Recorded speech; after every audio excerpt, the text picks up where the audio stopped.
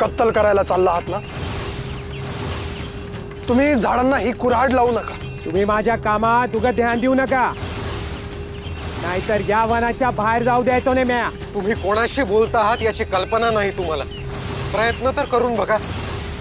Adesh! Adesh! Niranjan! Niranjan!